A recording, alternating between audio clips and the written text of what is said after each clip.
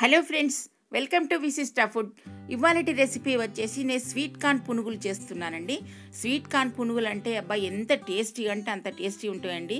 మనం ఏం చక్క ఇది తింటున్నా కొలది మనకు కార్న్ టేస్ట్ వచ్చి స్వీట్ కార్న్ టేస్ట్ వచ్చి చాలా టేస్టీగా ఉంటుంది. ఇగో చూడండి లోపల గుల్లగా ఎంత బాగా వచ్చాయి ఇదంతా టమాటా సాస్తో కానీ మామూలుగా కానీ తినేసేయచ్చు.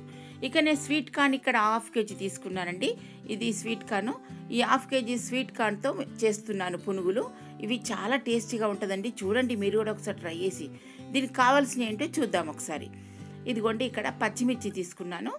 పచ్చిమిర్చి వెల్లుల్లి రెబ్బలు చిన్న బెల్లం ముక్క. ఇది ఆప్షన్ అండి మీకు ఇష్టం ఉంటే వేసుకోండి లేకపోతే లేదు.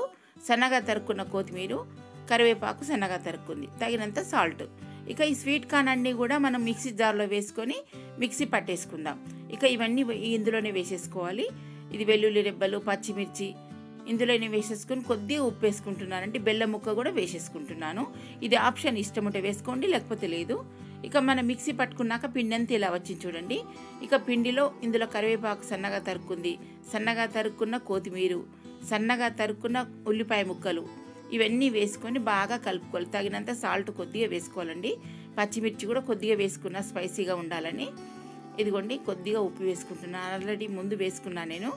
ఇక స్టవ్ పైన ప్యాన్ పెట్టేసుకొని ఆయిల్ వేడెక్కుతుంది కదా ఈ ఆయిల్లో చిన్న చిన్న పునుగుల్లాగా ఇలా వేసుకోవాలండి. చాలా బాగుంటుందండి. నూనె కూడా ఎక్కువ పీల్చదు.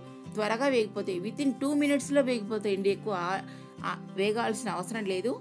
అందుకోసం త్వరగా వేడిపో మనకు వేగిపోతుంటుంటాయి. ఇటువైపు అటువైపు తిప్పుతూ వేయించుకోవాలి. ఇక వేగిన పునుగులన్నీ కూడా మనం సర్వింగ్ సర్వింగ్ ప్లేట్లోకి తీసేసుకొని ఇక తీసుకోవడమే ఆలస్యం చూడండి. ఎంత బాగా వచ్చినాయి చూడండి చాలా బాగుంటాయి టేస్ట్ కూడా అదిరిపోయే టేస్ట్ అండి. మనం తింటున్న కొద్దీ స్వీట్ కార్న్ టేస్ట్ వస్తుందండి. ఇది మామూలు పునుగుల కంటే కూడా ఈ టేస్ట్ చాలా బాగుంటుంది.